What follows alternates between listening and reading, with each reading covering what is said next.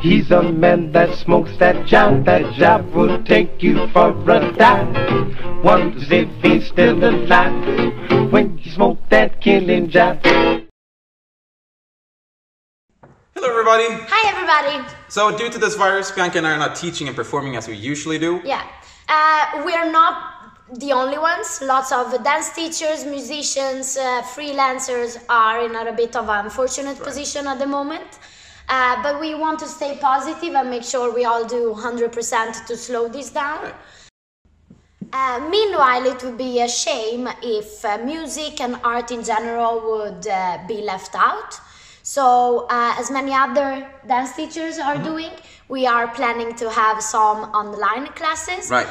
Maybe many of you are home, are forced to be home, or many of you never ever got to go to a dance class. Alright. And uh, maybe you're a bit too shy or whatever. Or maybe, I don't know. Who knows?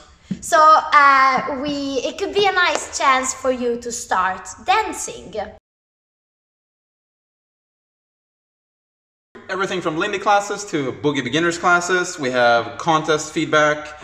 Uh, we have solo routine. Uh, Privates, yes, lots of stuff. let's stuff. And yes, you will find it on our page and you will see all the different options.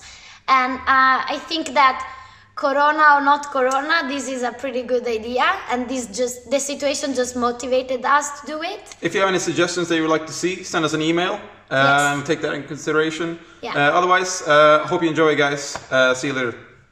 Alligator!